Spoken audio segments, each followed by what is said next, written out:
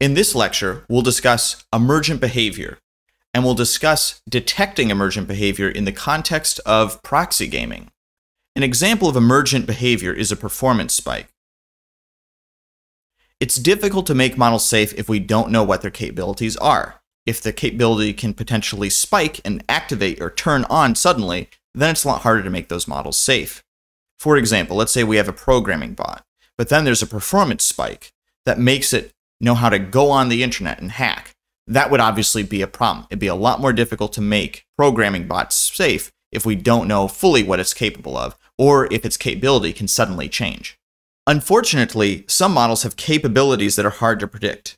For example, this adversarial MNIST model has its accuracy greatly increase as the capacity of the model increased. It didn't increase steadily, it basically suddenly turned on. So, this is an example of a performance spike, and we'd like to be able to anticipate these. Some capabilities can be highly unanticipated. Some qualitatively distinct capabilities sometimes spontaneously emerge, even when we don't explicitly train the models to have these capabilities. So, for example, GPT-3 was trained on a large text corpus and it was trained to predict the next word. However, as the model got larger, it suddenly became able to perform three-digit addition. Nobody trained it to perform three-digit addition. All it did was predict the next token in its pre-training corpus but it picked up the ability. There wasn't a specific three digit addition task while it was training. Likewise, with multi- massive multitask language understanding, that was a data set with many different multiple choice questions probing knowledge in law and economics and history and so on. We can see that as the models got larger, the accuracy suddenly started to increase. Likewise with program synthesis models were far better to able to output code as the models got larger. So we can see that as the number of parameters increases, sometimes unanticipated capabilities just sometimes spontaneously emerge. Sometimes interpretable internal computation can emerge. Some self-supervised vision transformers, such as Dino, learn to use self-attention to segment images, even without explicit segmentation supervision. To see this, let's look at some saliency maps. The saliency maps are obtained by thresholding the self-attention maps to keep 60% of the probability mass. So the supervised model's self-attention maps are as follows, and we can see when we look at the elephant that it's not actually segmenting the elephant.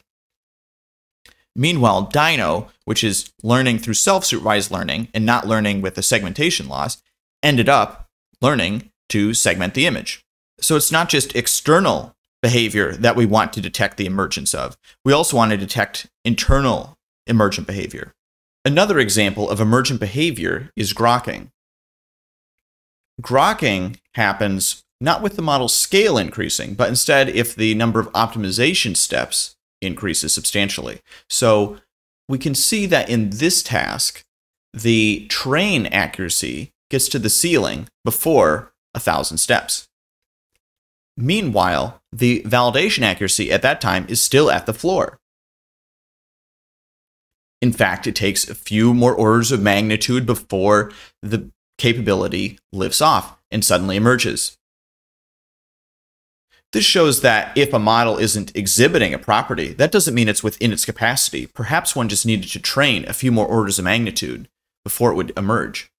Sometimes emergent behavior arises from emergent goals. An example of an emergent goal is self preservation. Self preservation can improve an agent's ability to accomplish its goals. So, self preservation emerges in many adaptive systems, including AI systems, but also in biological systems or companies. An example is an agent that's instructed to serve something simple like coffee would have incentives not to be shut off. If it was shut off, it could not serve coffee. Therefore, it has an instrumental goal to preserve itself. This is why it's said that self preservation is instrumentally useful for many goals, because for a goal, it's often the case that preserving oneself will make one better able to accomplish that goal. As a bit of additional vocabulary, when a goal is sufficiently useful that it's likely to occur, or be a goal of various sufficiently advanced agents, then that goal is called instrumentally convergent. For example, pursuing power, cognitive enhancement, and acquiring resources may be instrumentally convergent for advanced agents, including advanced AI systems. Emergent behavior is an emerging research area, so there's room for future research. Consequently, future work could develop a benchmark to detect qualitatively distinct emergent behavior. Other work could develop tools to better foresee unexpected jumps in capabilities. Work could also develop infrastructure to improve the rate at which researchers can discover these hidden capabilities, assuming that they're interacting with these models. Also, they could create diverse testbeds with many not yet demonstrated capabilities and screen new models to see if they possess them. So, perhaps no model is able to perform some specific task, but we can create some testbeds with these different tasks and fine tune the models and see if it's within their capacity to suddenly now solve them. That way, we're more proactively seeing what their capabilities are rather than continuing to scale them up and then finding out what they can possibly do. Now, let's speak about proxy gaming and emergent proxy gaming behavior. To understand proxy gaming, let's first look at a concrete example. In this boat racing game, an RL agent gained a high score not by finishing the race, but by going in the wrong direction, catching fire, and colliding into other boats. Proxy gaming occurs when a misspecified proxy function is over-optimized. So in this case, the proxy score was being increased by the model doing a lot of turbo boosts, while it should have been going around the track. Instead, it just kept racking up points by getting a lot of turbo boosts. So this is an example of a proxy being misspecified and it being gamed by a reinforcement learning agent. Here's a classic example of proxy gaming. In a region, there were too many snakes, so people wanted to decrease the population. Therefore, a bounty was created. Surely this would incentivize people to go out and kill snakes. But what actually happened is that people started engaging in cobra farming by raising many snakes, killing them, and then turning them in for the cash reward. When people found this out, they stopped the bounty program and people then release the snakes from their cobra farms. Consequently, this good intention ultimately backfired. With the previous example, the objective was to reduce the cobra population. The proxy was a reward or bounty or incentive for each dead cobra. And the gaming strategy was to raise cobras and kill them to receive a bounty. Here's another proxy gaming example. Let's say the objective is to increase website user satisfaction. The proxy could be the number of clicks, but there's a gaming strategy. One could promote clickbait or addict users. That would increase the number of clicks without actually working in favor of the objective. That wouldn't necessarily increase website user satisfaction. Here's another example. Employers might want to select smart, conscientious students, so they could use a proxy, such as GPA. But there's a gaming strategy. One could take easy classes, and that could increase one's GPA. This is a fairly deep phenomenon.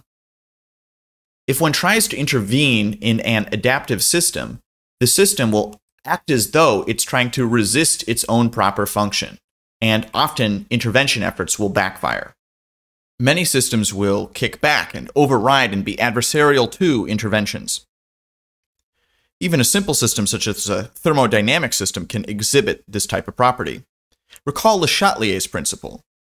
If an equilibrium is disturbed by changing the system's conditions, then there'll be an effort to counteract the change to reestablish an equilibrium. So there's an equilibrial readjustment. Consequently, it's not necessarily even alive systems that will oppose their own function or oppose interventions. As another example, complex systems can have positive feedback loops or self reinforcing loops for the status quo. And for interventions for the system, they're often negative feedback loops. Consequently, if one tries to intervene in the system, one may face the negative feedback loop and have one's intervention be wiped away or counteracted. Likewise, if a system has a controller that helps it maintain homeostasis, then the controller will work against interventions that can upset the equilibrium or homeostasis. Now let's turn to Goodhart's law. It states that any observed statistical regularity will tend to collapse once pressure is placed upon it. And by statistical regularity, we mean a heuristic or a feature such as GPA. Now, Goodhart's law is itself a rule of thumb or heuristic. It isn't an actual ironclad law like a law of physics or anything like that. So while it has the name, it's just an observation that often is so. A popular but extremely simplistic account of Goodhart's law is when a measure becomes a target, it ceases to be a good measure. This overly simplified account of Goodhart's law has led to substantial confusion. First, this oversimplification can lead one to turn against measurement. Often, one of the first tasks in understanding scientific phenomena is to measure it. But this suggests that the measurement will cease to be a good measure if people start having an interest in it or try and improve it. Therefore, all measures become defective measures, so don't even bother measuring. That's wrong and makes the perfect become the enemy of the good. Nearly all measurements have some imperfections, but despite that, some are useful. This oversimplification of Goodhart's law has also led to self defeating arguments.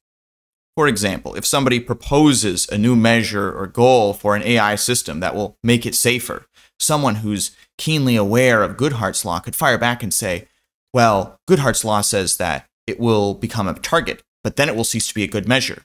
And therefore, this isn't actually useful.